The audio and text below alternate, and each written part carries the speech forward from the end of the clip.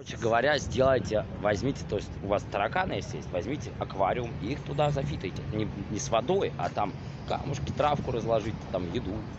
И там какие-нибудь штучки там, что бегают. И все время на них наблюдайте. Так потом, я вам говорю, с ними будет там играться, там что-нибудь кидать им просто. И что они знают, что они под наблюдением, вы их не, не хотите схуярить, а просто. Что дом у вас, как где-нибудь еще. Я вам блябу, я в этом уверен. Они поменяют свой окрас. Они станут какого-нибудь зеленого цвета, либо там оранжевого с, там, с черным. Там окрас будет красивейшим. Вот посмотрите, вот увидите.